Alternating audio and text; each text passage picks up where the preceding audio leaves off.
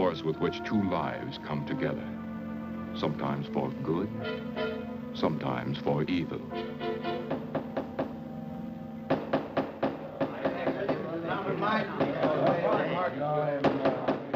I say, Williams, is out of line out there. I'm definitely against it. Seems to forget we have our stockholders to answer to. Oh, Phone Mrs. Williams, Della. Tell her to be ready in about an hour and I'll pick her up. Yes, You phone San Rafael and see if those papers are on the way over from the executive. Yes, Will.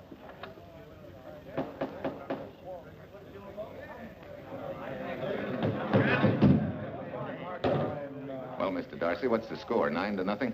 I'm afraid it is, Walt. If you think you can persuade them to change their minds, go right ahead. Gentlemen, I never interfere in stock issues, dividends, or anything else in your department. I must run my department with no interference. Either I know why and when I need more factory space, or you need another boy. And that's all right with me, too. Because I can take these plants and pick my own spot in the motor production field. You won't have to worry so much about dividends. There won't be many. I'm sure none of us want to lose Walt. Or our dividends. Why don't you say we take another vote? All in favor of buying the three new factories signify by saying aye. Aye. Aye. Aye. Aye. Aye. Aye. Aye. Aye. And unanimous vote. Congratulations, Walt. Congratulate the board. They're the winners.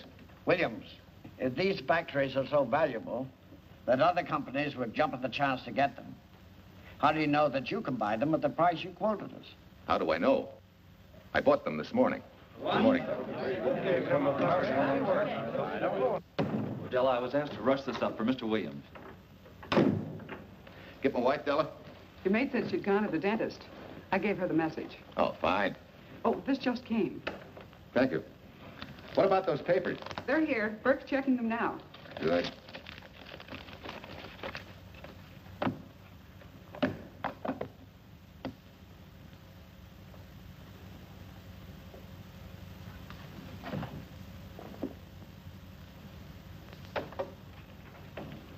Congratulations, Walt. Take a look at Clause 4. Those provisions haven't been clarified yet. Oh, no? I want to leave for Tahoe right away. Get Judge Deering on the phone, will you? Never mind. I can get faster action if I run out to San Rafael myself and stick with him till they're right. Yeah? Mrs. Williams on three. Oh, put the blueprints of that new diesel in, will you? I want Jackson to see him. Hi, Duchess. I'm afraid now we won't be able to leave till about 5 o'clock. What? You're not going with me, but I counted on it. But I thought as soon as Dr. Harris took care of whatever it was, I'd feel better. I don't.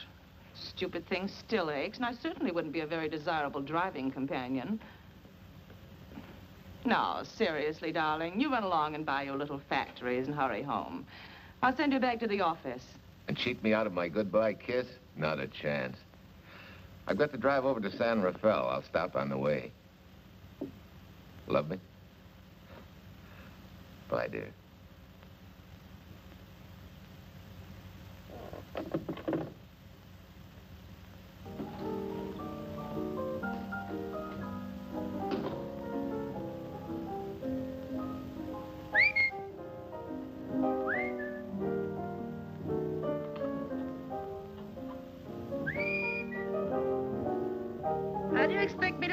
Through a toothache?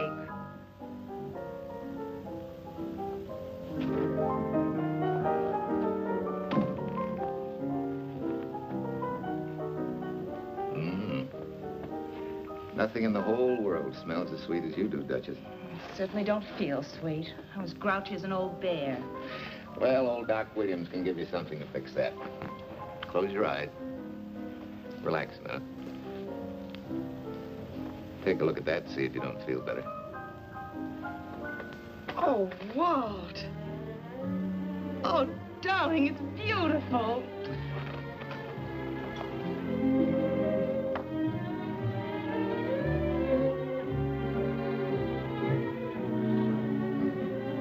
Not bad. Not bad at all. You know, to quote my wife, I like monograms on things. It shows they belong to me, unquote.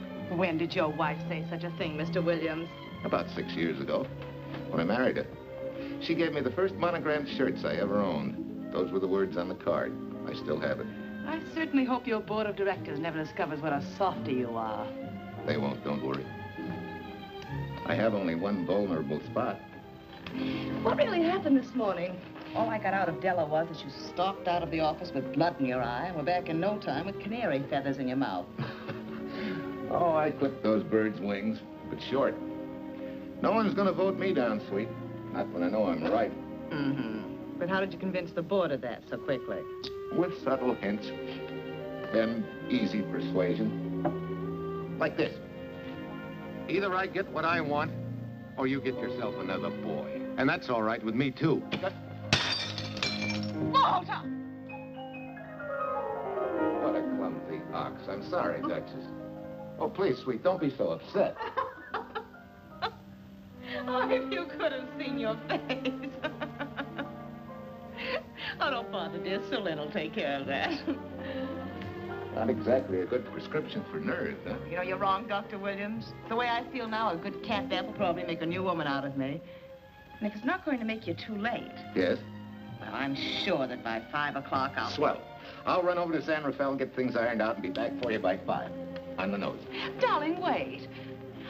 That's perfectly silly. I'll take a taxi cab and meet you in Sausalito. There's a drugstore on a corner opposite the square. I'll be there at 5 o'clock and we can go straight on up to Tahoe. That'll save you all that late afternoon traffic and all that time it'll take to come and pick me up. Smart woman, my wife. Thinks of everything. Where's your bag, honey? Oh, Su Lin still has some things to press for me. Sure you don't mind taking a taxi? Very sure. Sweet dreams, Duchess. See you at five. I Better get going. Bye, honey.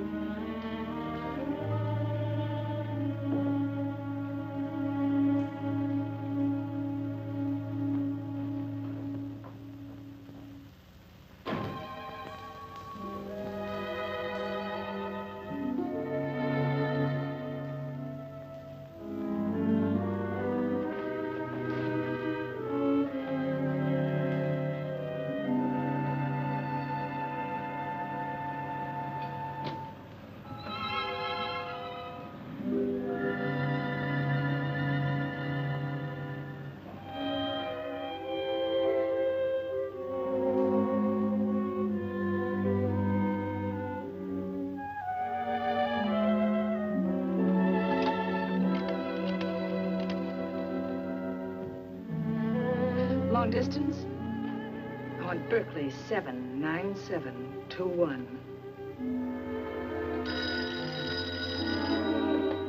Hello. Ah. Hiya, beautiful. Yeah.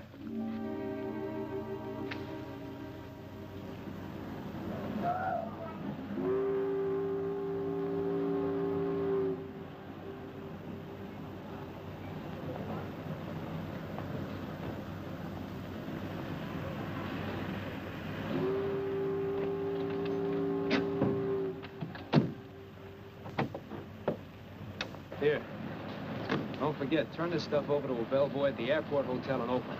Tell him to hold it for Jack Burns. Jack Burns, the airport hotel. That's right. I'll be checking in later. What do I owe you? A buck fifteen a here. All the stuff back to Oakland. Yeah, yeah. Here. Buy yourself a new. Thanks.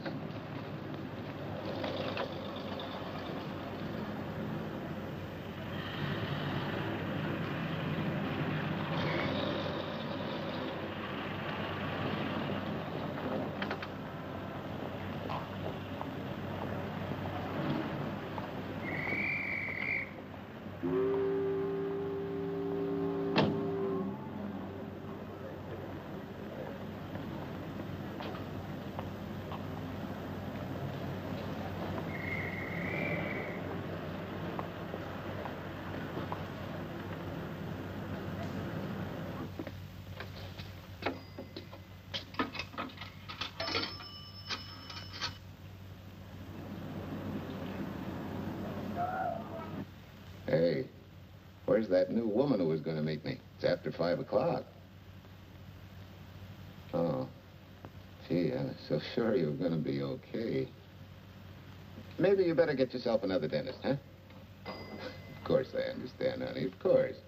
Just to prove it to you, I'm coming right on home. No, I, you really mustn't, darling. I, I'm going to be perfectly all right, really. And besides, Besides what? well, I've done something you're not going to like. You remember Aunt Margaret back in Illinois? You mean the old gal in Evanston? I'm away ahead of you. How much? Well, it isn't money this time. It's it's another relative, her, her favorite nephew, Jim Torrance. All of a sudden, right out of the blue, just after you left, he telephoned me from Berkeley. Okay, Judge, I'll see him when I get back. Well, you don't understand, dear. You're going to see him right away. I'm what? Well, all he seemed to want was to be able to get back to Illinois, so I... So you buy him a ticket. That's easy. Well, it isn't. I, I offered to, but he, he got huffy and said he didn't want any handouts, and... Well, without thinking, I told him we'd pick him up and give him a lift as far as Denver. I won't say I'm getting exactly an even trade for you, but where do I find this guy? Well, he should be there right now. I told him to be on the lookout for a cream-colored roadster, just in case we failed to recognize one another after all these years. Oh, darling, you're such a lamb. Are you sure you forgive me? What do you think? Well, I better run along or Cousin Jim might get nervous. Take it easy, sweet, and miss me, will you? I do already. Don't drive fast. And please take care of yourself. Softy. Goodbye.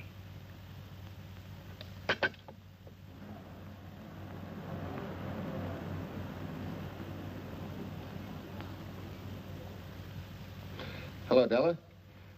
Yeah, Mrs. Williams wasn't able to go with me. Now, while I'm gone, you see that she gets her roses every morning. That's right. But this time on all the cards, put love from Softy. Yeah, S-O-F-T-Y.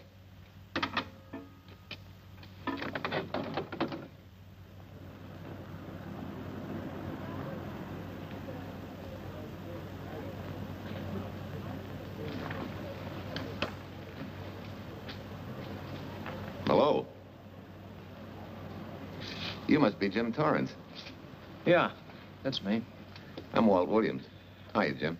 Hi. Where's Irene? Oh, she's a little under the weather at the last minute. Worse luck. Oh, that's too bad. I was hoping I'd see her. Yeah, I'm disappointed, too. Where's your luggage? Oh, I'm wearing it. Less trouble that way.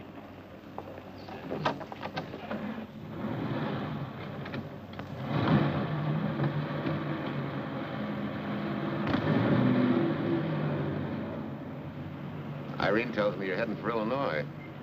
Yeah. Going been a little rough, huh? I Haven't exactly been worried about my income tax. What's your line, Jim? Oh, guess I'm a better salesman than anything else. Hmm. You know, I can give you a couple letters when you get back to Chicago. It might help you. It's fine. Little in with the top brass never hurts. What outfit were you with? Patton's Third Army. How was it? Rough. Except for the time in Italy. I kind of liked it there. Patton's outfit never got to Italy. Of course. but most civilians never know or care, and I, I figured you didn't either. Well, I fooled you that time.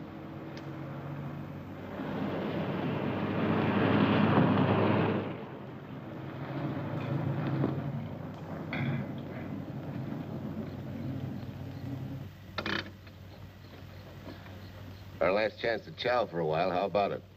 Uh, no thanks. I grabbed a hamburger while I was waiting for you. I can still taste the harness.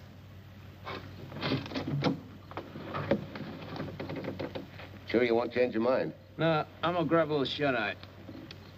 Right.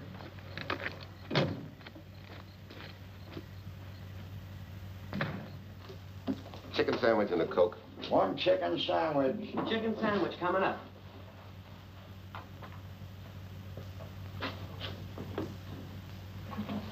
Give me change for a dollar, will you? Yes, sir.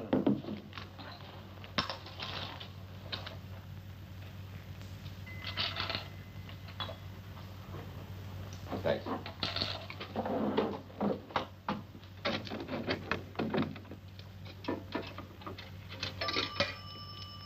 Francisco. Uh, Klondike 2, 6714.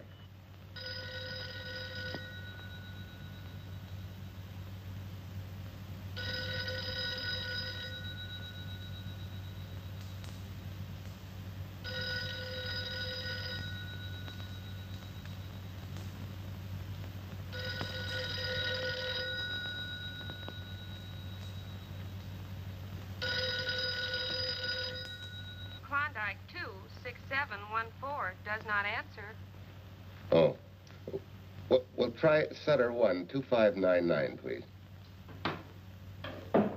Bayview Apartments. Oh, yes, Mr. Williams. No, your maid isn't there tonight, sir. Well, she said Mrs. Williams was taking something to make her sleep and wasn't to be disturbed. But perhaps... No, no, don't disturb her. Just uh, leave a message that I won't forget about a certain problem. Mm-hmm. I think I have it, sir. You want her to forget all about a certain problem. Softy, is that S-O-F-T-Y, sir? Softy is going to take care of it thoroughly. Is that all? Yes, that's all. She'll understand. Be sure she gets it the first thing in the morning.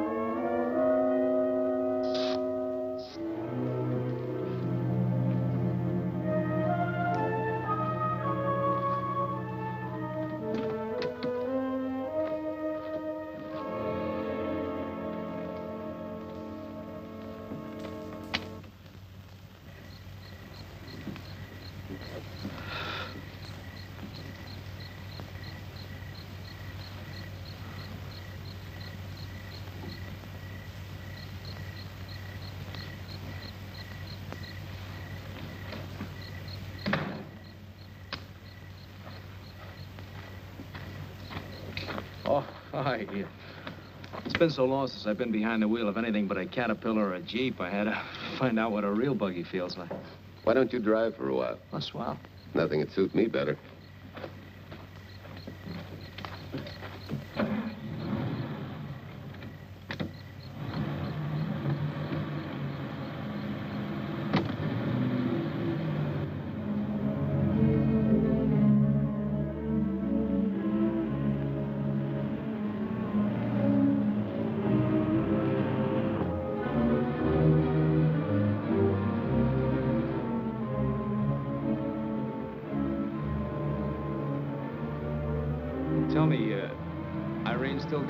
Scar on her cheek? Hmm. That one she got from the fall? Yeah. You can hardly see it now, though. How'd you know about that? She just got it last summer. Thought you said you hadn't seen her for years. Oh, oh from Aunt Margaret, of course. How else? She always sends me the news in her letters.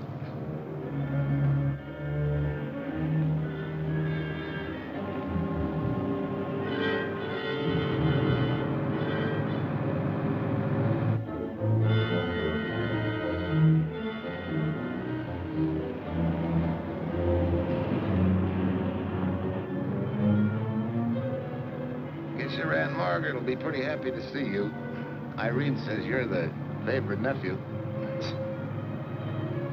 Afraid my lovely cousin was just giving me a build-up for your benefit. You don't know Irene.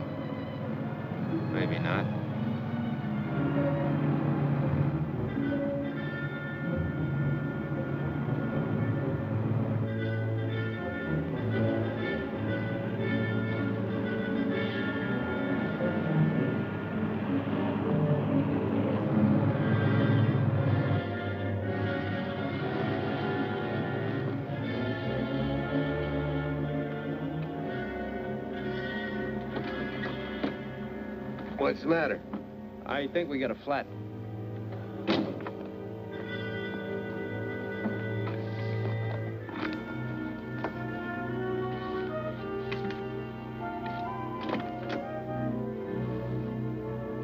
Yeah, flat as a flounder. Oh. Well, let's get to work. Hey, I got there, young fella. It's quite a drop.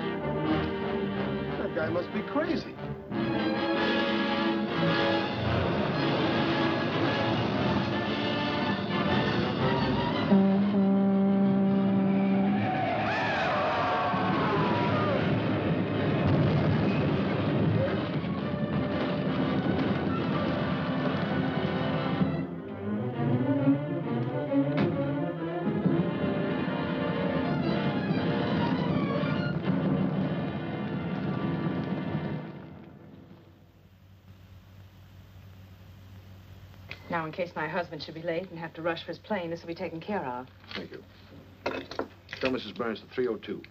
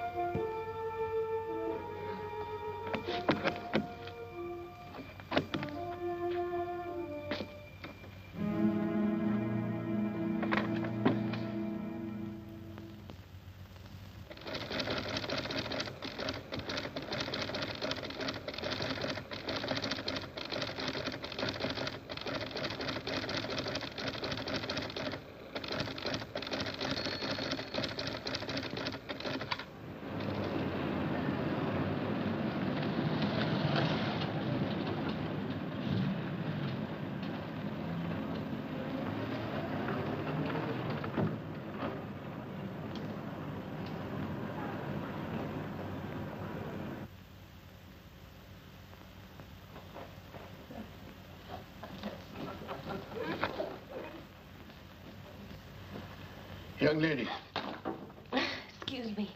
I want to see Mrs. Walter Williams. I'm sorry, sir, but she left orders not to be disturbed. I'm sorry, too. Lieutenant Quincy of the police department.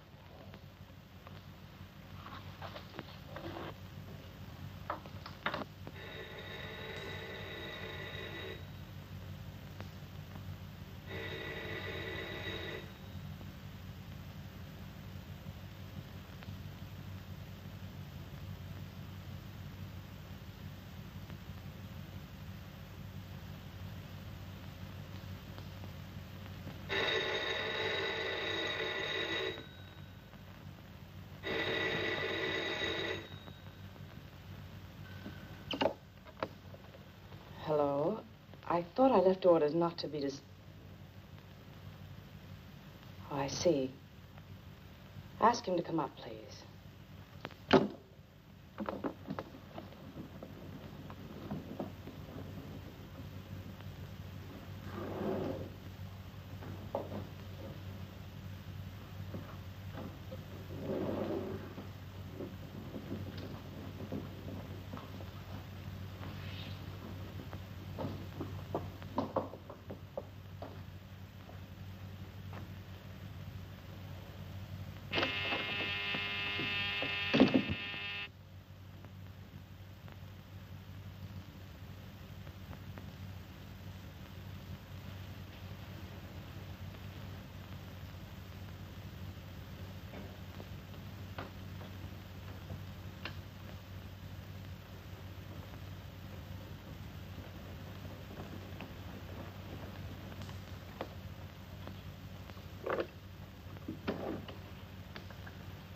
Yes?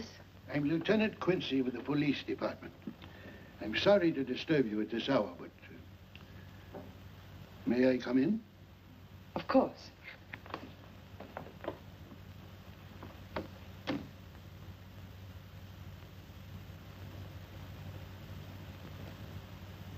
Well, Lieutenant?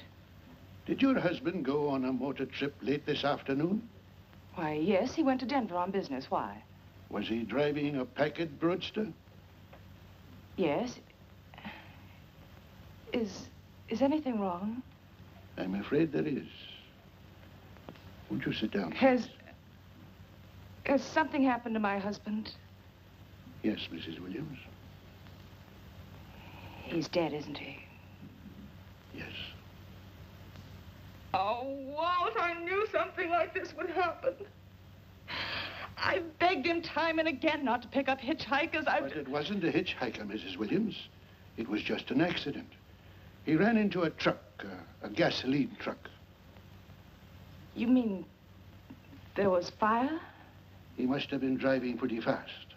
I don't think he felt anything after the crash.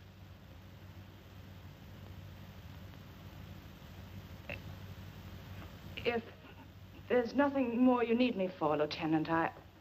I, I think I understand. And may I say you've taken this with a great deal of courage. Good night, Mrs. Williams.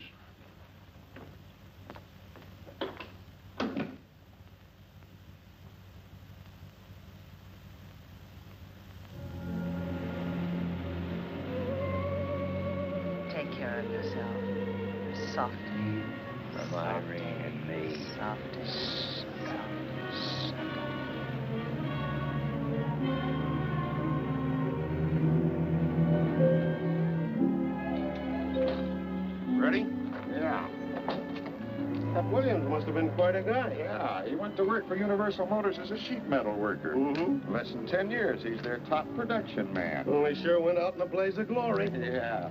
Uh, let's go.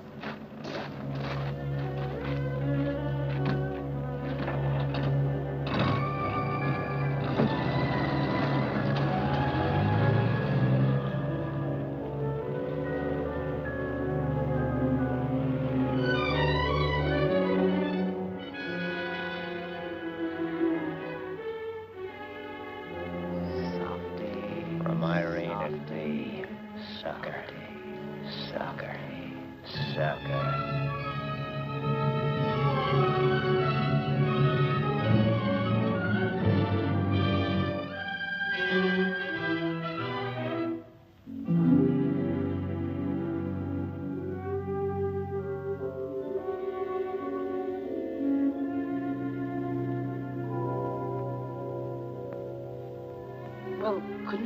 Have taken a later plane and still made connections for Mexico City? I see. Yes? It is some telegrams for Tai Tai. Just put them under the door, Su Lin.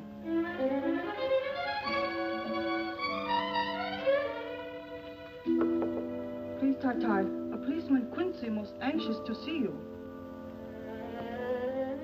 Ask him to wait, Su Lin.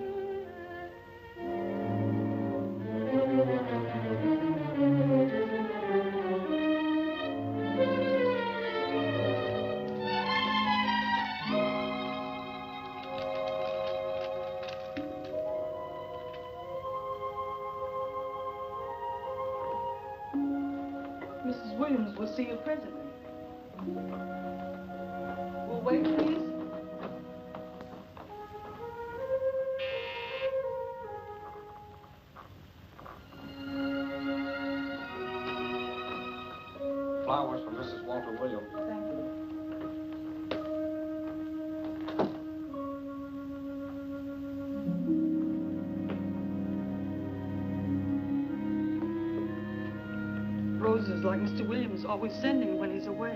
You seem to have been very fond of Mr. Williams. Su Lin is honored to have served him five years, and he... I'm sorry to keep you waiting, Lieutenant. I wouldn't be disturbing you again if it wasn't necessary. And I would be keeping you but a moment. You're being very considerate. Won't you sit down?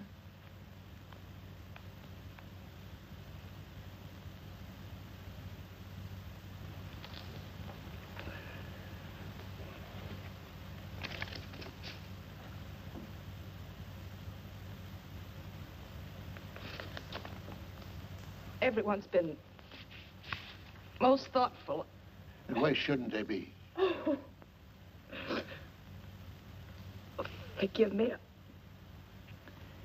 I'm all right now. What was it, Lieutenant? The state police would like to have some information. They found some wavy skid marks for quite a distance on the road, as if the car had been out of control when it crashed. Tell me, was Mr. Williams uh, a reckless driver? Why, no. He, he was a fast driver, but certainly not reckless. Well, uh, was he... was he a heavy drinker? Quite the contrary. But what about his health? Uh, could he have had a heart attack and lost consciousness before the accident? Why, no. He, he was in perfect health, but he'd been working much too hard lately and, and was overtired. Perhaps he fell asleep at the wheel last night. Oh, poor darling. If only I'd been able to go with him last night, he might still be alive. Well, maybe so and maybe not. You mustn't blame yourself, Mrs. Williams. Fate plays an important part in these matters. Your handkerchief. Mm.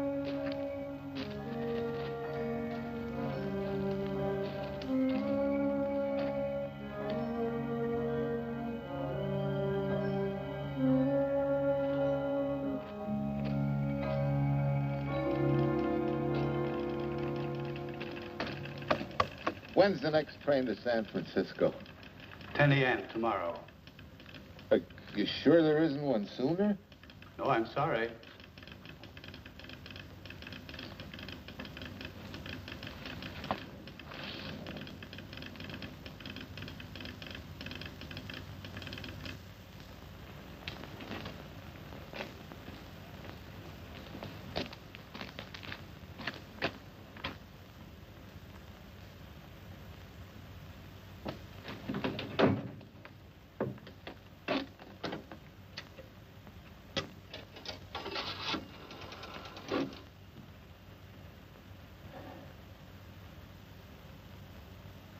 We have a circuit now, sir.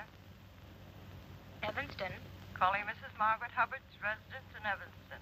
One moment, please.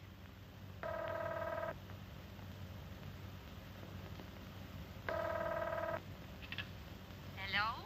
Mrs. Margaret Hubbard? Yes? Who's this? Long distance. I have a call from Mr. James Torrance. Who? Mr. James Torrance. He's her nephew, Jim Torrance. The call is for your nephew, Jim Torrance. I haven't any nephew, and I don't know any Jim Torrance. Sir, uh, Mrs. Hubbard says she doesn't know.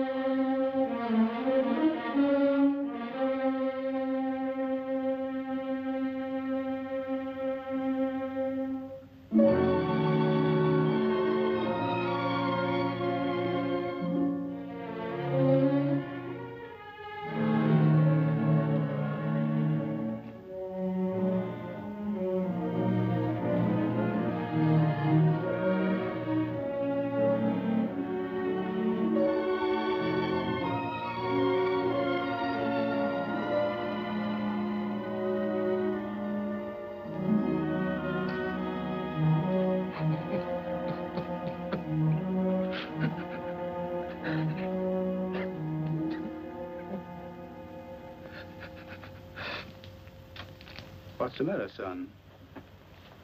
Looks like you need a doctor. Doctor? I can't leave the station, but old Doc Bender's just across the road there. Yeah. Doctor? Think you can make it?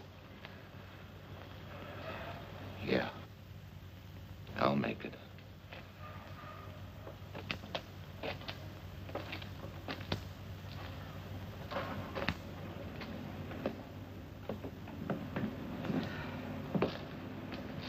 Now take it easy, man.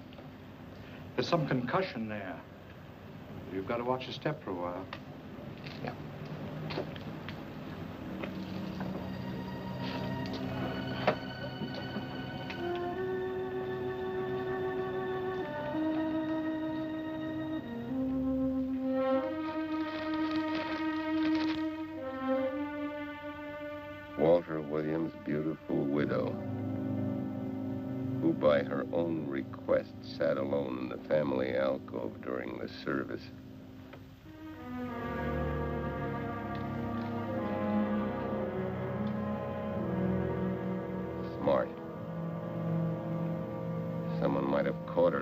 Her chops.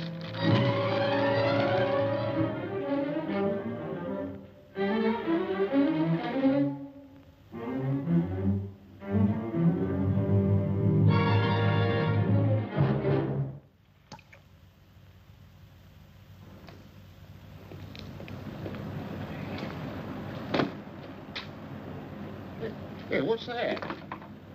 Walter Williams. Walter Wi... Hey, ain't that the guy that... For the love of Mike, what's that briefcase doing here? He's dead. They did him a dirty trick if he ain't. Hey, now, wait a minute. Don't touch it. We better turn it over to the police.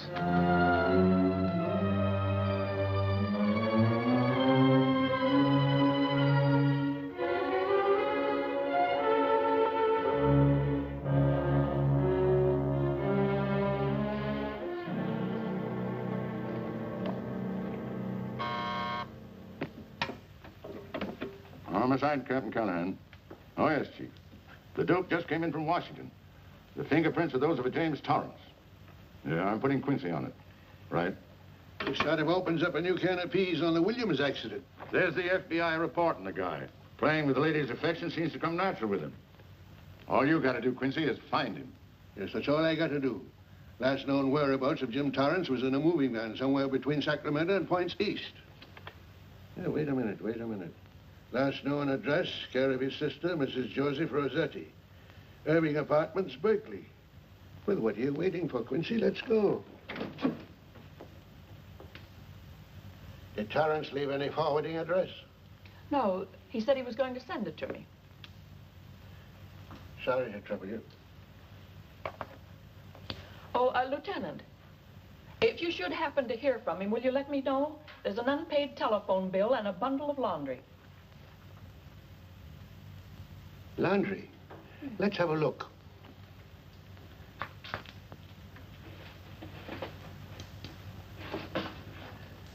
I may have to take this along with me. Not without a receipt, you don't. You mean you don't trust the police? In my business, you don't trust anybody. Mine, too.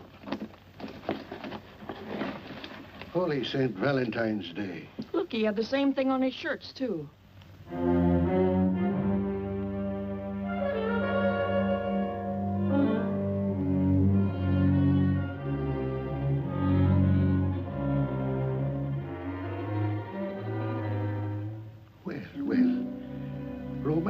Your late tenant's life. Did you ever see the lady? You know, I never did. But I always knew when she'd been here, the wonderful perfume. I lay you ten to one she's a rich widow. Could be. Wait, I'll get you his telephone bill.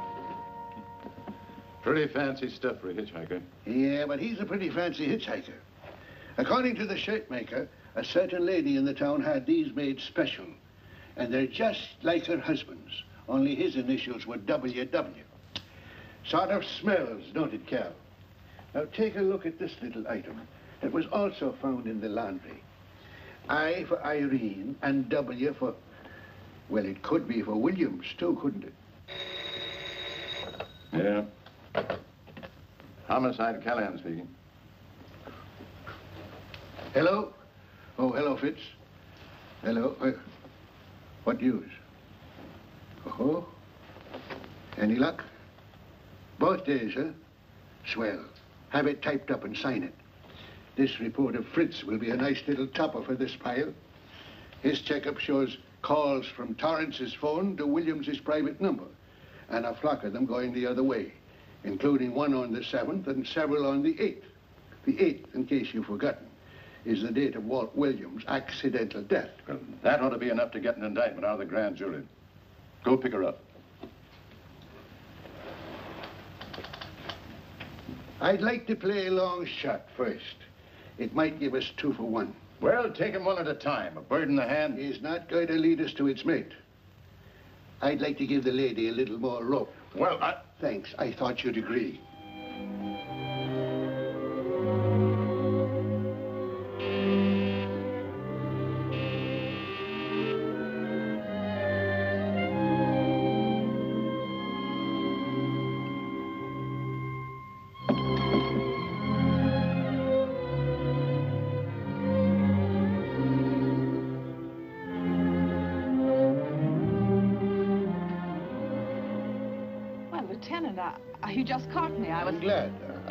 Rather startling news I thought you should know before it hits the headlines. Come in.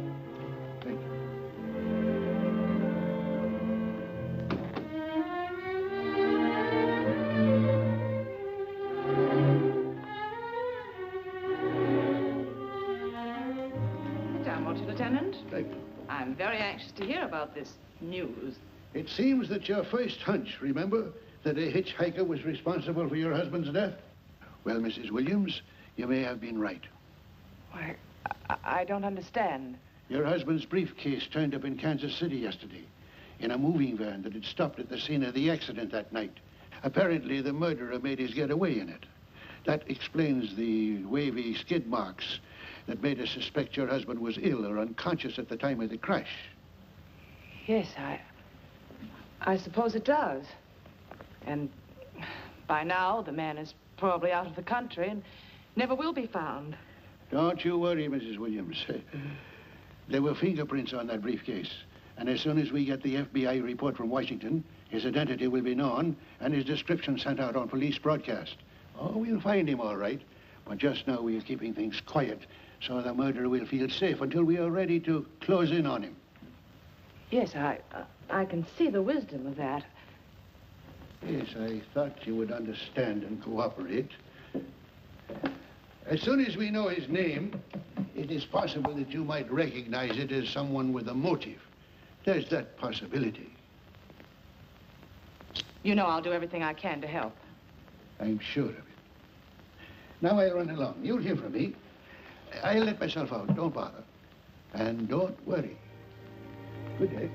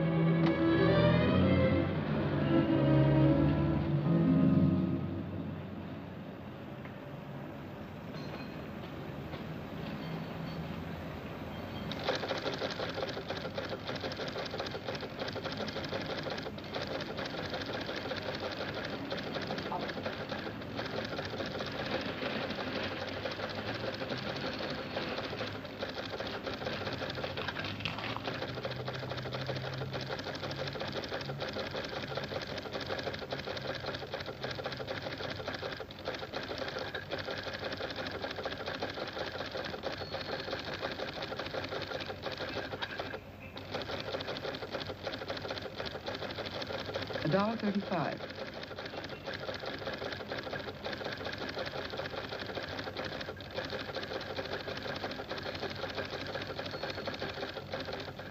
See, everything after the letter J in the first name has been obliterated by heavy writing over it. The only impress letters legible are those between words or before them, like uh, RNS at the end of this name here, and the Hotel Santa here before the word Evanston. Well, Tom, don't you think it's about time you retired? Why, there isn't even evidence there of Mrs. Williams' intent to communicate with Torrance. And who do you think should be the path to the telegraph office to wire to? The League of Decency? I'll tell you what I think, that you should have brought her in when I first told you to. By the time you get her now, she'll have figured out a way to tip Torrance off. He'd be that much tougher to find. Not unless she's tipped him off from your office. Ernie's got her on ice waiting for you.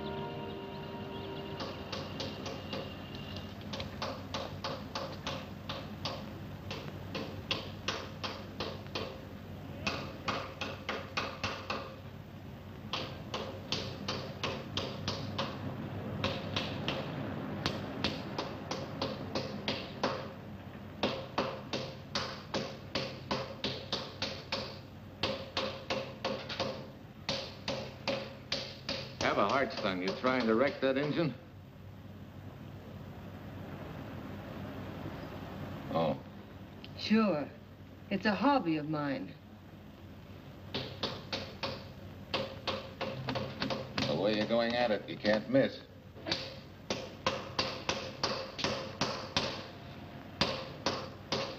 Here. I just can't let you ruin that beautiful motor. Start her up.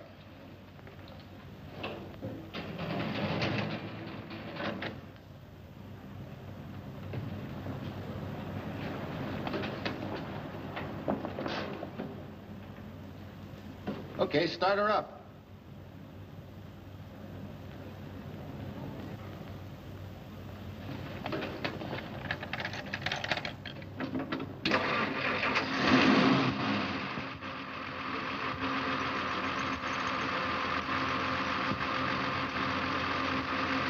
Shut her off.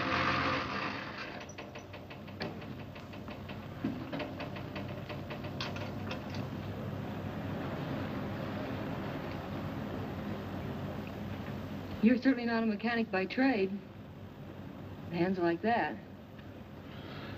Maybe it's a hobby of mine.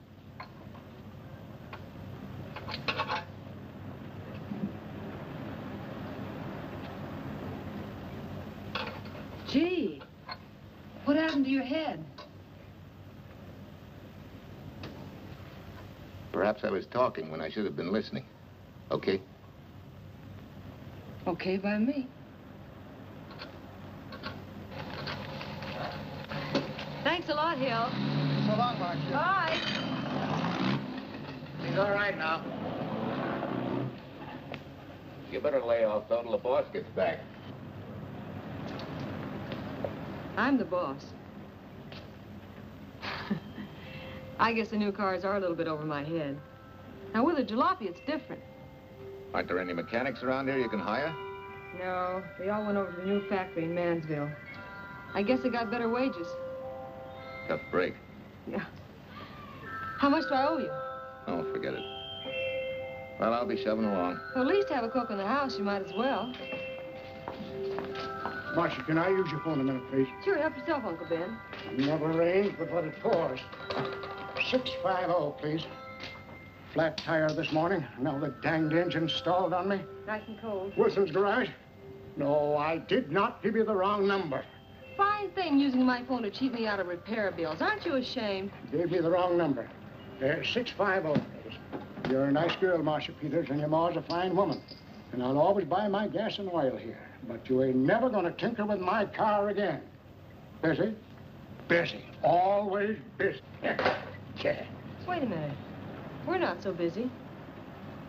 Would you like to do another good deed and give Uncle Ben a hand? Why not? Where is your car, mister? Maybe I can help you. Why, are you a good mechanic? Very good. And very reasonable. Well, just what you need, girl. Better hire him. It's an idea, Uncle Ben. Come on. Thanks for the Coke. Sure.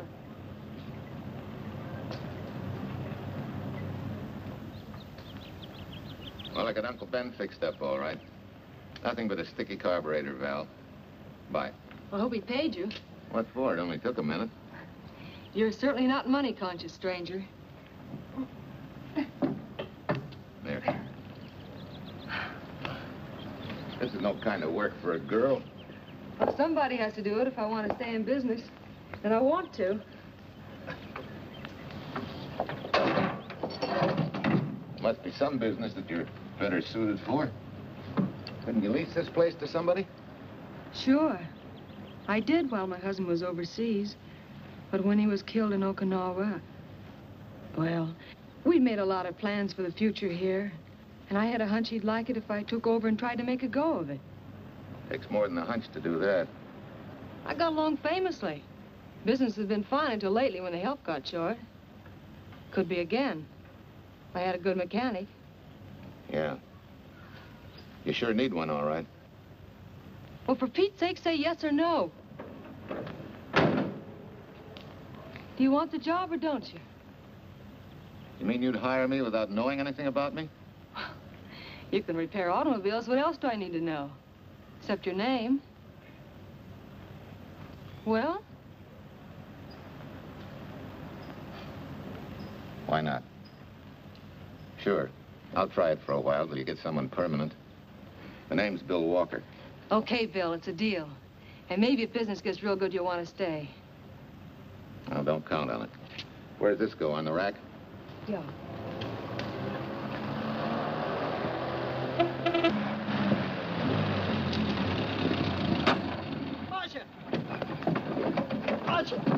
It happened!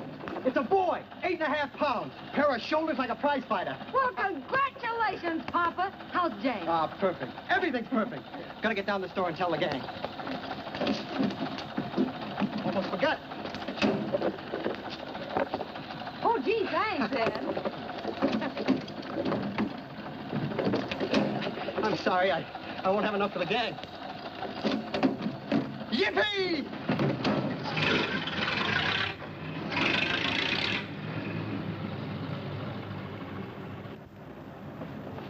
Maybe you can use this token from the slightly delirious new father.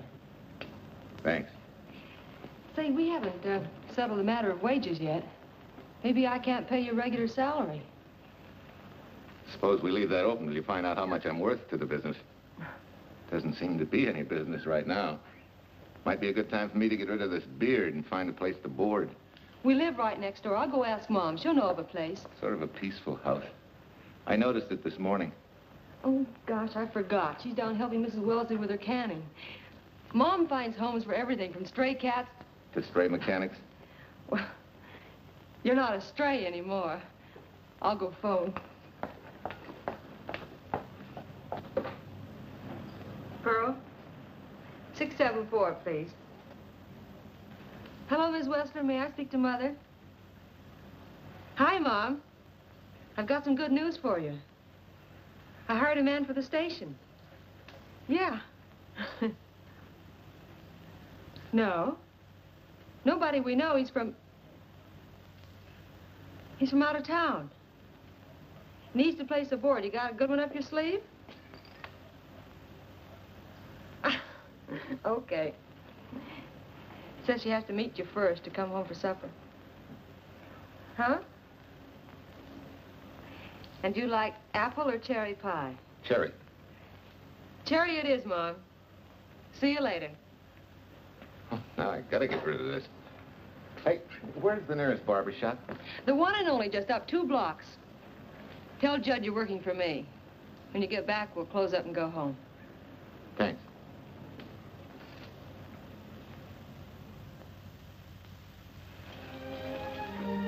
Well, that's real nice.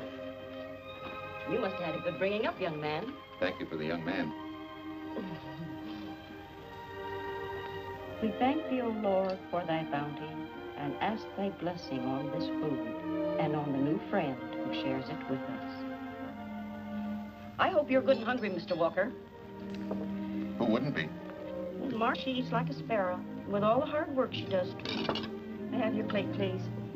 Well, she can start taking it easy now. Boss, the help. Thank you. She never takes anything easy. Has to put her whole heart and soul into everything she does. Well, now that you're through with me, Mom, how about Bill? Have you thought of a place for him to stay? Well, why can't he stay right here? We have a spare bedroom going to waste.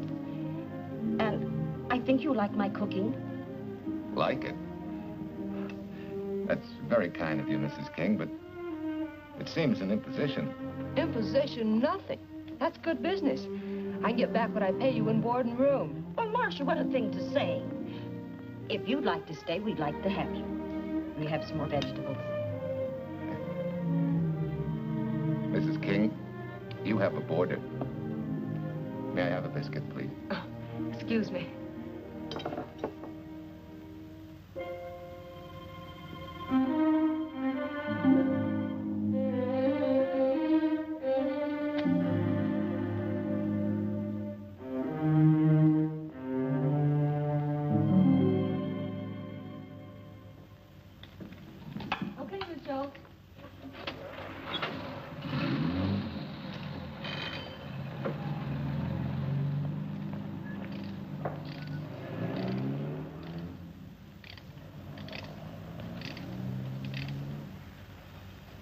Wonderful the way tools seem to come alive in your hands.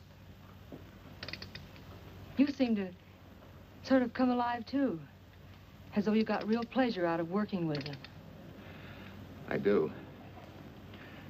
When you're doing a job with them, you can't think of anything else. Bill, if something's bothering you, why don't you get rid of it? What would you prescribe, doctor? Amputation. For that stupid chip on your shoulder.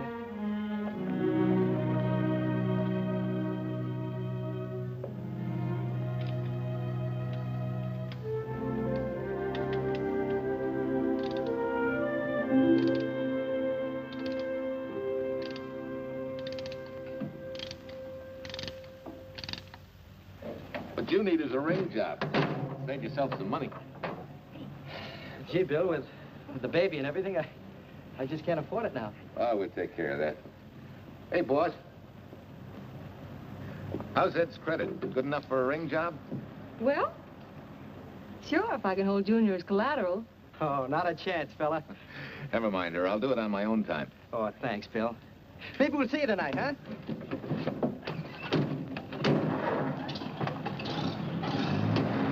Some shoulders, huh? Yeah. Some father, huh?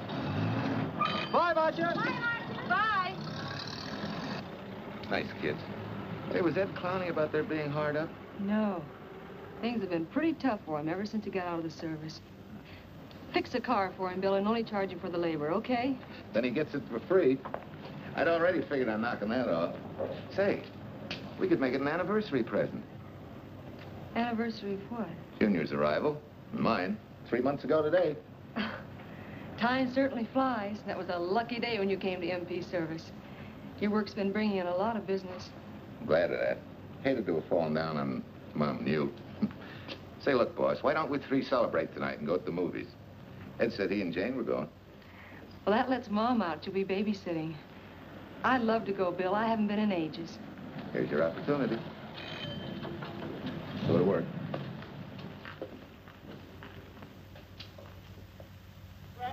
Extra! Irene Williams, held for murder! Read all Extra, extra! Irene... This is Sheila Graham with the latest news of the shocking Williams murder case.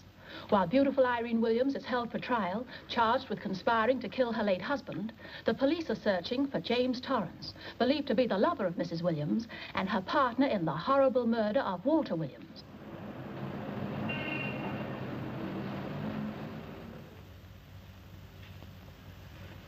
If I'm handling your case, my dear Mrs. Williams, I want one-third of everything you get. You're out of your mind. You don't realize what I'll get as Walt's widow. Perhaps you don't realize the spot you're in. Torrance's fingerprints were found not only on your husband's briefcase, but, in a manner of speaking, on your reputation as well. There's a detective named Quincy, a very smart cookie. He isn't exactly for you. Frankly, Mr. Warner, I'm beginning to wonder if my attorney is for me. Underestimating the enemy's ammunition would scarcely be wise. Now, if we can get to trial before Torrance is found, they'll never get a conviction. But... But what? If he shows up, we may have to fry him. Oh, no. Let's not cross that bridge until we have to. But if it comes to a choice, we're not going to burn, are we?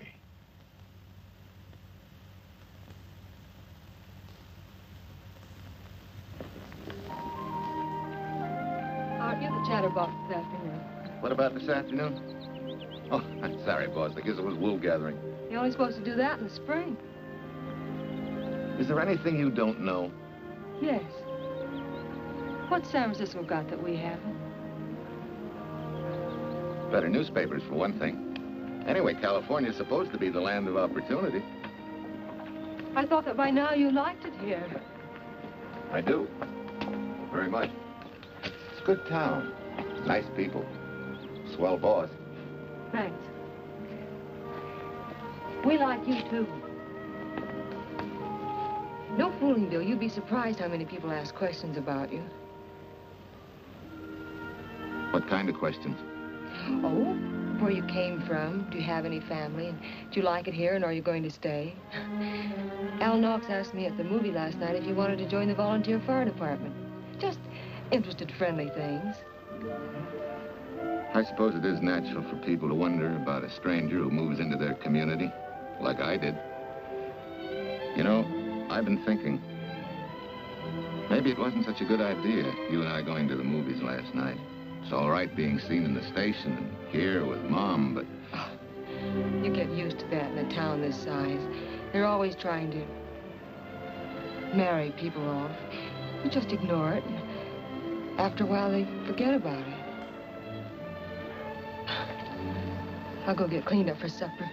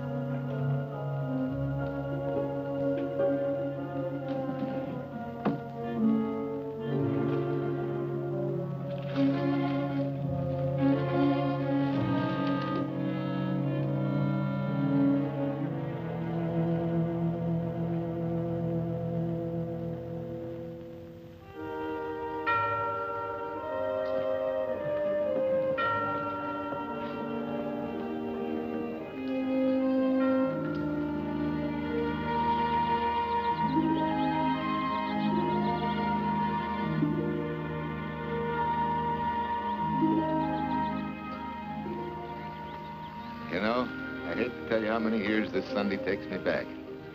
Did you always fall asleep during the sermon? I wasn't asleep, Mrs. Peters. I merely closed my eyes to concentrate. oh, so that's what you call it.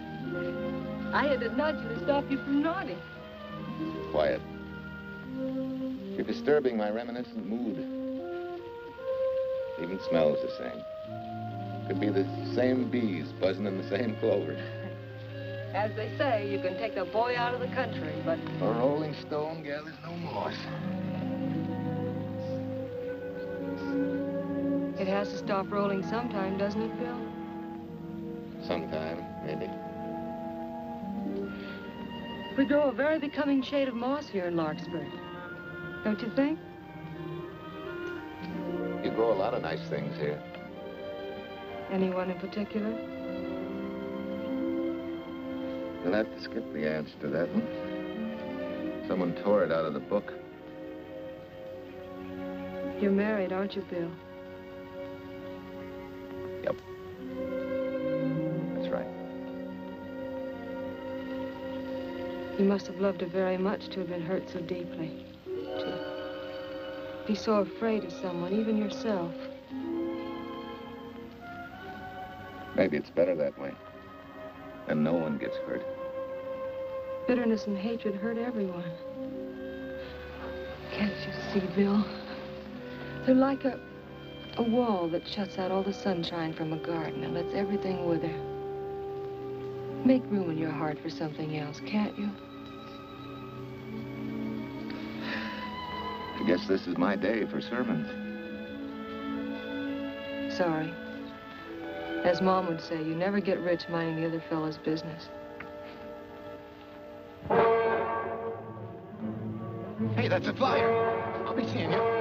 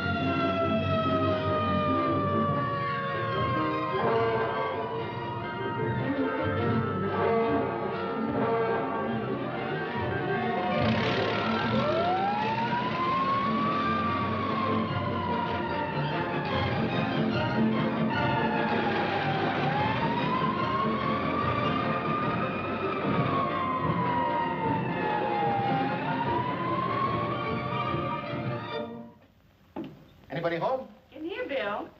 Mrs. Wesley sent a couple of jars of peaches. Said you helped her can them. Oh, thank you. When I delivered the doc's car, he insisted that I have a bite with him. Where's the boss? Took a book back to the library for me. Huh? What a day. Hey, what's the idea? Are you darning my socks? Well, I thought a drawer full of holy ones isn't doing you much good. I found it when I put fresh papers in your bureau yesterday. You have a heap of things that need mending, haven't you, son? Does Marsha know? Do you think I'd tell her? This is your problem, Bill. Because I found out about it doesn't give me the right to tell anyone else, not even Marsha. When you trust folks, you trust them, and you give them a chance to work out things the way that seems right to them. How can one little woman be so big? Don't forget, it's a lot easier to be tolerant and understanding at 50 than it is at 25. Yeah, Ma. I'm going next door for a while. Grandma Thompson's ill.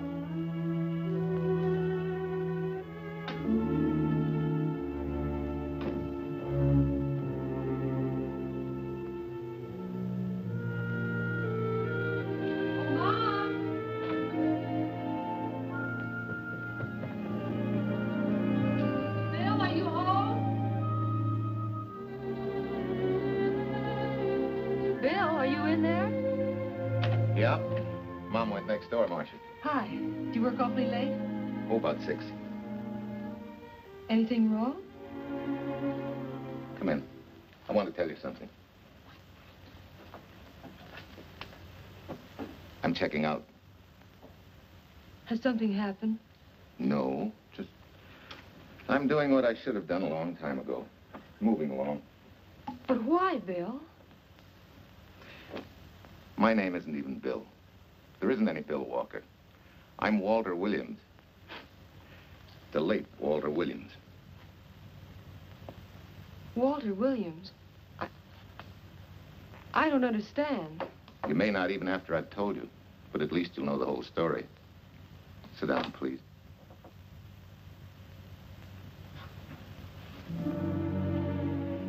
Finally, Larkspur. And you. From there on, you know. I'm glad you're going back to make things right. Going back. Wild horses couldn't drag me back. What are you going to do about your wife? Nothing. You're going to let her go to trial for murder? Oh, no, Bill. Why not? She tried to kill me, she and her cousin. But they didn't. Who says they didn't? Let them try and prove it. No matter what your wife did, she can't be tried for something that didn't happen. Oh, Bill, can't you see? You bet I can see. She deserves everything she's getting. Sorry part of it is they'll never convict her. No, Bill.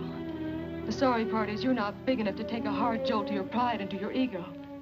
Sure. It hurts to be tricked and cheated by someone you loved and believed in. But that doesn't give you the right to take justice into your own hands, to, to trample on the hearts of others and walk out on life. A barren, frustrated boyhood. A marriage to a woman who accepted my love, yet despised me so thoroughly she resorted to murder. I'll never think of our moments together without nausea. I feel stripped bare, degraded. Because you've closed your mind and heart to everything else. Even me.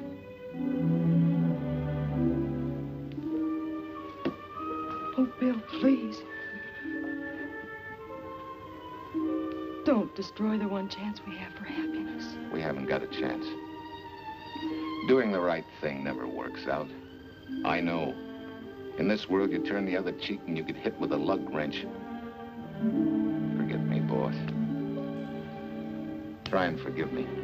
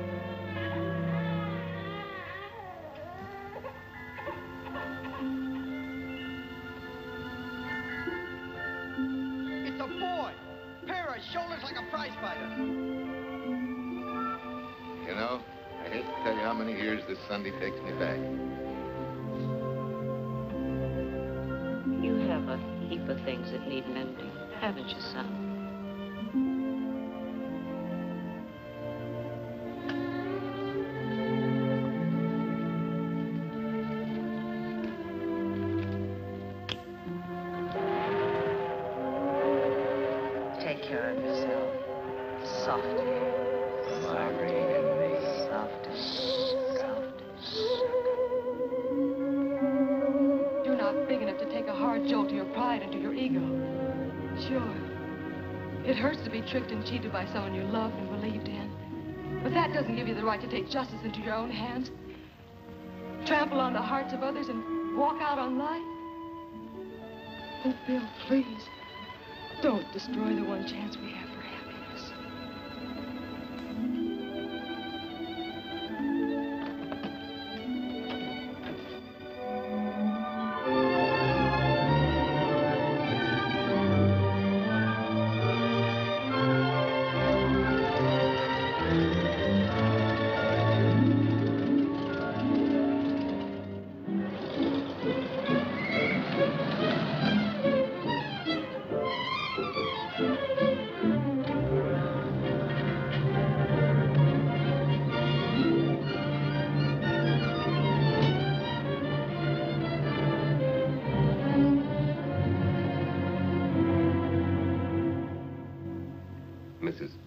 Kind enough to come along to substantiate at least the Larkspur portion of what I've told you. Very thoughtful of you, Mrs. Peters. Mr. Williams, when you read in the newspaper that the hitchhiker who attacked you had been, well, a close friend of your wife's for some time, it must have been a great shock to you. I didn't come here to discuss my emotional reactions, Lieutenant.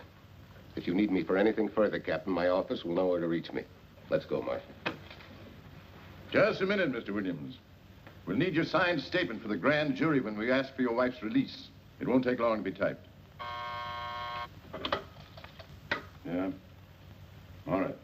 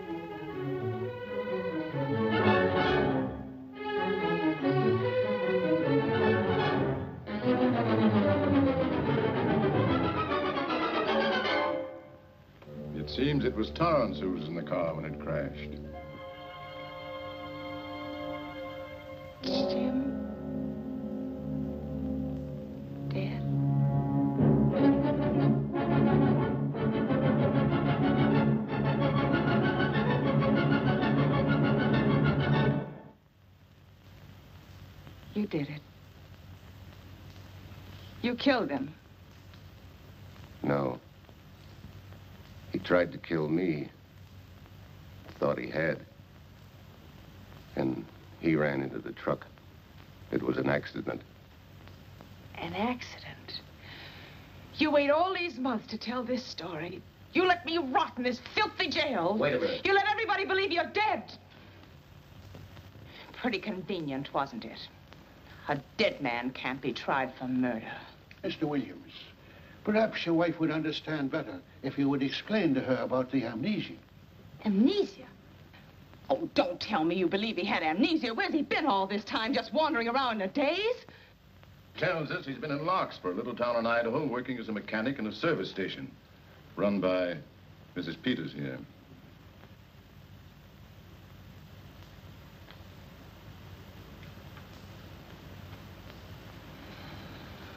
Understand perfectly. Now that my chance for happiness is dead, I suppose you'll demand the divorce I begged you to give me so that I could marry Jim. That's fantastic. Yes, isn't it?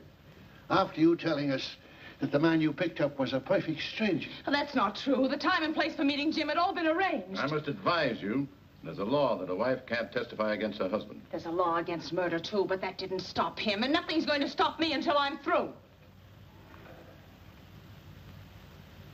It's all right with me, Captain. Go on. Talk your head off. I... I, I was to have gone with him to Denver. I, he insisted on it, although I was quite ill. Several hours before we were to leave, he, he came home. There was a violent scene. He, he threatened to kill me unless I agreed to give up Jim. And I wish he had. This is incredible. Not one word that she has said is true. Then you have nothing to worry about. Mrs. Williams, was there a witness to the threats you mentioned? No. Uh, unless the maid overheard. She was in the apartment. In fact, she picked up the pieces of the vase that he threw at me. Where's she now? I... I don't know. She, she left me suddenly after all this began. I- Please, could the questions wait? I, I feel rather ill. Will you have Mrs. Williams ready for the grand jury at 10 o'clock tomorrow morning? That's all.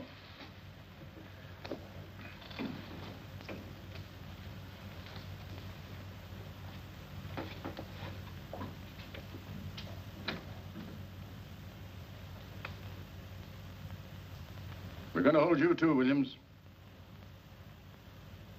On what charge? Suspicion of murder.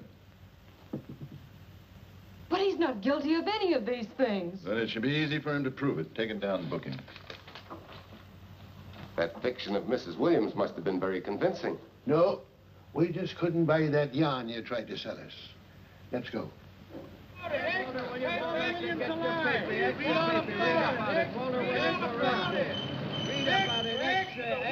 What's the, what's the wife freed and murder charge? Extra, get your paper. Walter Williams charged with murdering wife's lover. Extra, get your paper. Irene Williams goes free.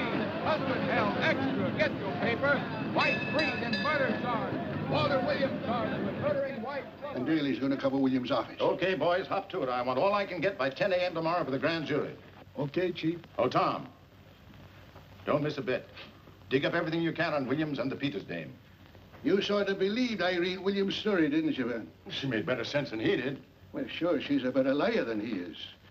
Don't forget, I went all through her grieving widowhood with her. She's a bad customer. Well, that's for the grand jury to decide, and Williams insisted on letting her talk. So it's his funeral. Funeral, all right. Especially with that yarn he told. But murder's out of character for him. There's a few pieces missing somewhere. There might be in Idaho, if it's not too much out of character for you to get going. You're going to miss me, Cal, when I retire next year. Maybe I'll join Private Eye and solve your cases for you.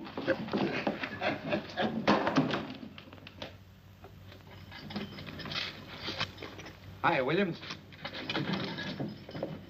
Mr. Williams? Thanks. Got a deal from the bottom here, don't you? Sorry, Williams. Okay, Williams.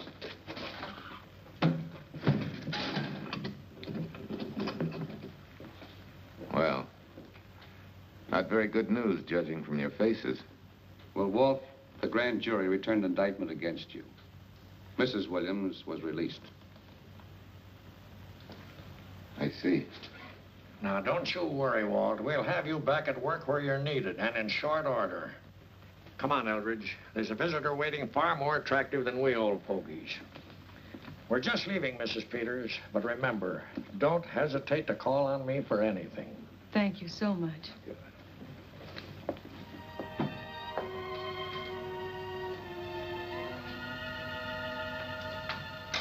Hi, boss. Bill, what have I done to you? If it weren't for me, you wouldn't be here. If it weren't for you, I wouldn't be. I came back here because I wanted to believe in the things you do. I still do, no matter what happened. Will you do something for me? Hmm? Go back home, where I know you'll be taken care of. Not a chance. You'll have to think of a better reason than that to get rid of me. I'm a big girl now. I've just been to Larkspur, Williams, where I found these newspaper clippings. Of course, some of them are three months old, but you seem to treasure them, so I brought them along. So? I don't think they exactly substantiate your claim of amnesia. As if you were interested in substantiating any claim of mine. Now, let's get one thing straight. Most people, when they get in a jam, think the police are only interested in the prosecution. Our job is to get the facts, the truth. And the truth never hurt anyone but the fellow that lied. Unless he was a beautiful woman. Oh, quit kidding yourself, Williams. You made the boner. I had no more to do with Torrance's death than you did. And out of the whole population of Northern California, you just happened to pick up a hitchhiker who happened to be your wife's boyfriend. Ah, have a heart, Williams. I suppose you'll tell the truth when you take the stand, but you better have some mighty conclusive proof if you expect the jury to believe it. Wait, Lieutenant. Bill, we all know you're not guilty, but we're going to need help to prove it and need it badly. Lieutenant Quincy can't take sides, but if we're right, he has to be on ours. And I have a hunch he wants to be. Why don't you tell him the whole story? All of it. Please. I'd like to. Quincy, very much. Guess I should have told the whole truth in the first place. But I wanted to clean this mess up with as little scandal as possible.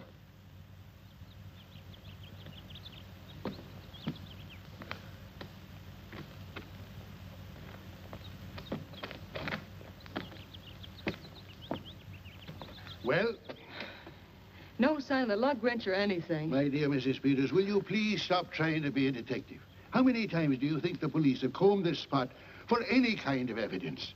Now, be a nice girl. Take Mr. Williams' advice. Go back to Larkspur. What time is it? It's only four o'clock. We still have time to go back to town and go on our hunt for Su Lin. Now, look here, young woman. You've had me on the run since early morning. But, Lieutenant, the maid seems to be our only hope now. We've got to keep looking till we find her, that's all. That's all. Wait. She was naturalized, wasn't she? Suffering chopsticks. Quincy, you dumb flatfoot. This, uh, this Sue, Sue, what's her name, was Chinese born.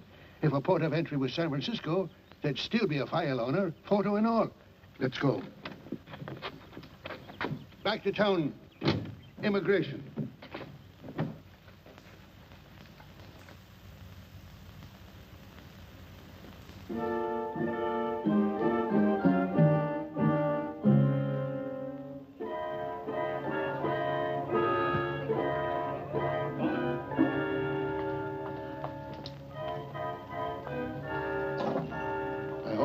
Council has given us the right lead.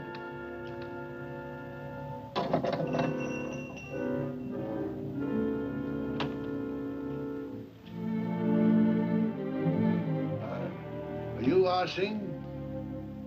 Understand? You savvy English? Also French, Italian, and Hebrew. May one ask what is desired? We're looking for Su Lin Chung. The Chinese consul said you were her uncle and might tell us what she is. This daughter of my brother, has she offended the honorable police? Oh, no. They just wanted to ask her some questions about Mr. Williams, the man she used to work for. Ah Sing's heart is heavy that he cannot lead you to her. But things that are not known cannot be told. Well, if you hear anything of her, report it to headquarters.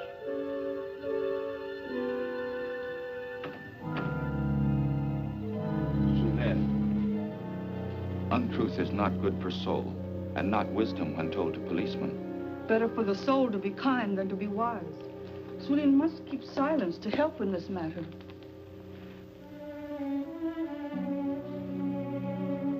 You know, you're quite a gal. In case I haven't told you lately. You're just too easily pleased, that's all. There must be a way out. Why can't we find it? Oh, buck up, boys. Tomorrow's another day. Yesterday you go to trial. Bill, I'm afraid. And the state intends to prove, beyond any reasonable doubt, that the defendant, Walter Williams, did, with malice aforethought, kill the deceased James Torrance, whom he knew to be his wife's lover. And that with his victim dead beside him, he drove his car into the course of an oncoming truck, jumping clear himself some seconds prior to the crash. And subsequently, he made his getaway in the back of a loaded furniture van. And for three months, as Bill Walker, he laughed at justice, but had imprisoned his unfaithful wife for conspiracy in his own murder. But then he decided that being dead cramped his style. He thought he could eat his cake and have it too. So he returned, most anxious to explain his long absence and to right the dreadful mistake that had imprisoned his wife for three months. Ladies and gentlemen, it was a cold-blooded, premeditated murder and must be punished to the fullest extent of the law. Call the first witness, please. Captain Callahan, did Walter Williams tell you what suddenly cured his amnesia after three months? No, he did not. But he did tell you the man that struck the blow which caused the amnesia was a total stranger, a hitchhiker he had picked up. Yes? And that he knew nothing of this man's identity or relationship with his wife until he suddenly recovered from his amnesia and heard or read the details. That's what he said. That's all. Thank you, Captain. Your witness, Counselor. No questions. No. I saw no signs of amnesia, but definite concussion. He was a bit evasive in answering questions, but not vague or unsure. In your opinion, Doctor, could this head injury have been caused by a fall? Yes. If the head had struck on some object, such as a stone or a metal pipe. That's all, thank you. Your witness. Dr. Bender, are you familiar with a tool known as a lug wrench for changing automobile wheels? I'm afraid I am, sir. I've had a regular epidemic of flat tires lately. Well, then, in your opinion, could this head injury which you treated have been caused by a blow from a lug wrench? Yes. It could have been caused by that, too. Thank you, Doctor. The ones with the earliest dates, you will notice, are heavily creased, as though they'd been carried in a wallet or a coat pocket. Thank you. Lieutenant Quincy, will you kindly tell the court where you found these newspaper clippings? In the bedroom occupied by Mr. Williams and Mrs. Peters' home in Larkspur, Idaho. Uh, is this your handwriting, Miss Revere? Yes, sir. And that's the message, at least our record carbon of it. Uh, would you read it to the court, please? June 9th, 8.32 p.m. Message from Mrs. Walter Williams, Penthouse D. Mr. Williams called, said he wants you to forget all about a certain problem, that Softy is going to take care of it thoroughly. Was there any other conversation? Well, I, I just asked if that was all, and he said, yes, she'll understand, and... and sort of laughed as if it were a joke and hung up. Some joke killing the wife's boyfriend. That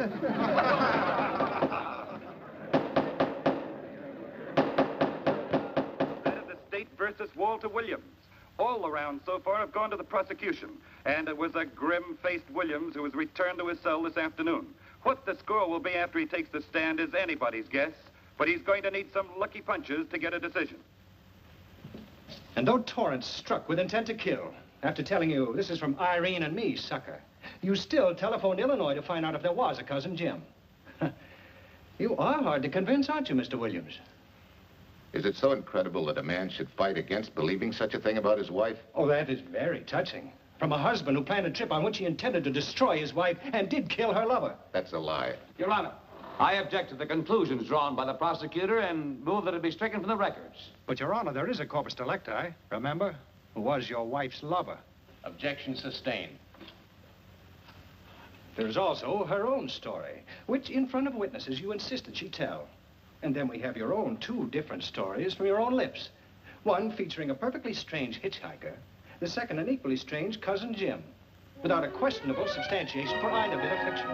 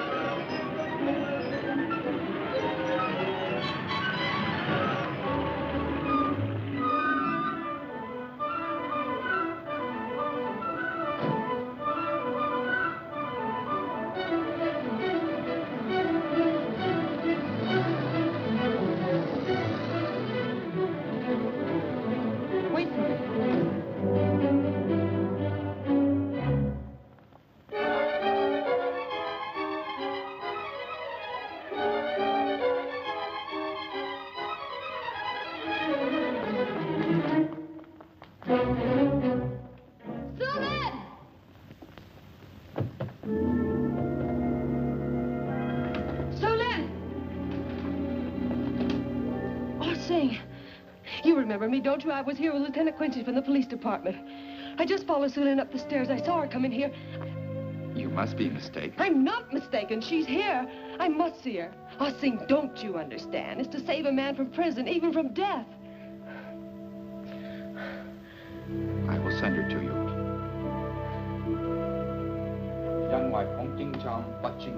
Oh, Su Lin, Bu So Oh, we've been looking for you all these weeks. Mr. Williams needs your help so desperately. I cannot help. You must forget that you found Su Lin. Forget it?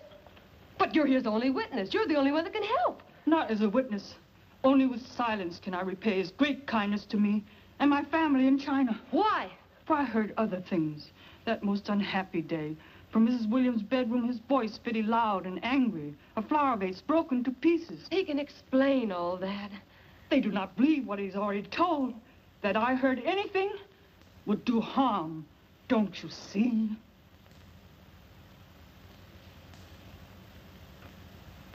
Yes. Much sorrow comes from women who know not honor and truth. And Mrs. Williams, she not true even to that Torrance man. What made you say that? That night when he was killed, her sickness was but wall of falsehood, behind which she could go secretly to a meeting place. You... You mean she went out that night? Su Lin, are you sure? Yes, because next morning in her bedroom I found street shoes that had been worn. Her coat on the closet floor with the sleeves turned inside out as though removed hurriedly. And in one pocket, a door key to some hotel. Su Lin, that's it. Proof that she and Torrance had planned to meet that night after he killed Mr. Williams. What hotel was it? Oh, I... I don't remember. The key. What did you do with it? Returned to coat pocket. Come on. We'll get to Lieutenant Quincy. He'll know what to do. And pray, Su Lin, every step of the way.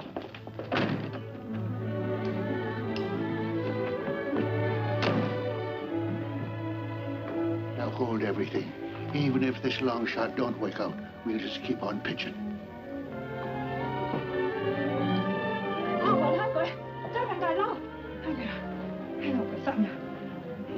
Một rồi. I see. Well, honey, she... Here it is, yes. Room 302, Airport Hotel, Oakland. Maybe we got our miracle. A special little Chinese one. It is to hope that Su Lin was of small help to Mr. William. Oh, Su Lin. Come on, Copper. Next stop, Oakland. I set the little lady's hotel rendezvous. I was on night duty then, all right, but I sure don't remember a looker like this. Quite a dish, eh? A little too highly seasoned for my digestion, thanks. Lieutenant, just found a couple of cars for room 302 on June 9th. George Baxter, checked out at noon. Mr. and Mrs. J. Burns. Room not slept in. J. Burns. Burns. Look, Quincy. The handwriting on the card is identical to that on the photograph. And here's a little boy, the same thing. The cover-up telegram to Aunt Margaret. Now look at the impressions. J here, and here RNS. J. Burns. That's the name she started a telegram to. Room not slept in. Say, I got that dame pegged now, Lieutenant. She said they'd be out of the room by midnight as her husband was catching a plane.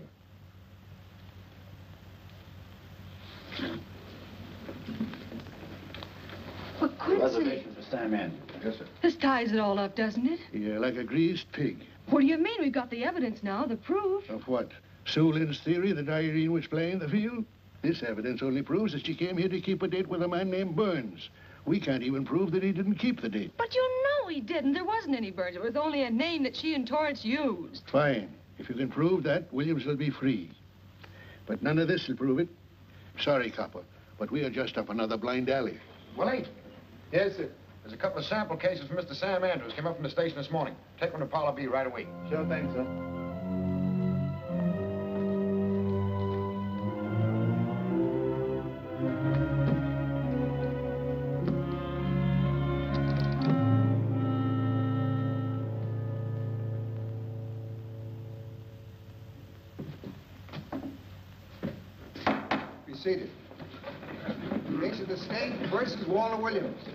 Proceed, Mr. Aldrich. Your Honor, we will call Mrs. Irene Williams. Take the stand, Mrs. Williams.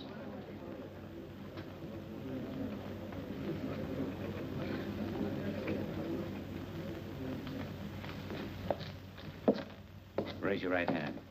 You solemnly swear that the testimony you're about to give in this cause to be the truth, the whole truth, and nothing but the truth, so help you God? I do. Hey, what cooks? The defense calling her? Mr. Eldridge, what's the purpose in calling this witness?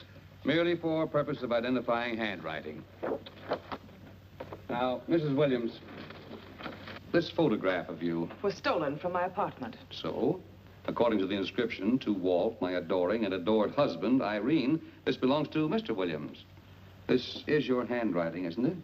Of course. I'm touched that he should have wanted it so badly. And this telegram, addressed to Mrs. Margaret Hubbard, is that also your handwriting? It is.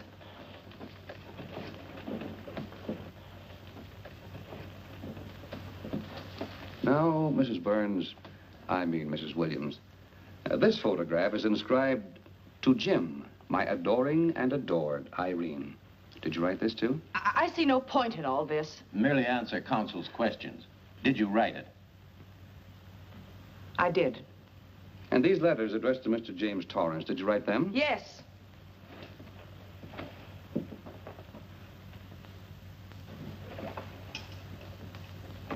And this monogrammed uh, garment, A gift from you to Mr. Torrance? Why must I be tortured again by all this? I never made any secret of my love for Jim Torrance. That's why he's dead. Your love for Jim Torrance. Yet on the very night he was killed, you had a rendezvous with a man named Burns, didn't you? I don't know what you're talking about. I don't know any man named Burns. I was at home that night, very ill. Oh, yes, the sleeping pills. Well, you must walk in your sleep then, for you spent at least part of that night at the Airport Hotel in Oakland, where you registered for Mr. and Mrs. J. Burns. Don't waste the court's time trying to deny it. This is the registration card that you signed at 9.20 p.m. And there's the room clerk who assigned you to room 302. And this, Mrs. Williams, is the key to room 302, which you very carelessly left in the pocket of a coat which was found in your closet yesterday. All right, I was there. Now are you satisfied? Not quite. This J. Burns, Mrs. Williams, was his first name Jack? Yes. Have you been in contact with him lately? No, no. How long since you've seen or heard from this Jack Burns? Well, I don't know. I don't remember. You bet she doesn't remember, because there isn't any Jack Burns, and there never was. That was an alias for Jim Torrance. And it was Torrance who was to have met you that night, after your charming little plot to kill your husband had been duly executed. It's not true. It's not true. I have bad news for you, Mrs. Williams. I can prove it's true. These pajamas, these letters, this picture, all of which you identified for the court, were found in this suitcase, which is full of the clothes and personal belongings of Mr. James Torrance. And the suitcase was found in the baggage room of the airport hotel, where it's been held since June 9th. And it says on this tag, in large print, hold for Jack Burns. That is all, Mrs. Williams. Just a moment, Mrs. Williams. Your Honor, in view of the evidence presented, we now ask for a dismissal of the state's case against Walter Williams. And we intend to charge Irene Williams with conspiracy to commit murder against her husband, Walter Williams. Oh, no.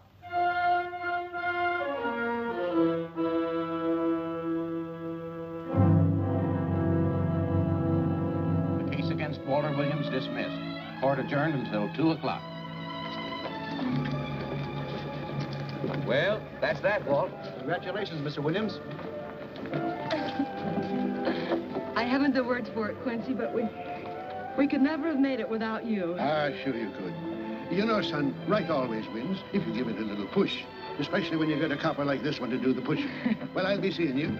You know, it'll seem kind of strange being able to eat and sleep without someone getting in your hair all the time. Oh, fine, Walt. We're looking forward to having your hand on the wheel again. The Denver plants are waiting for you to open them. You think you can make it the morning? How about it, Counselor? You bet you can. Oh, good. Well, I'll be running along. Well, you think you like Denver? It's okay by me, boss. Yes. Impact. The force with which two lives can come together. Sometimes for evil, sometimes for good.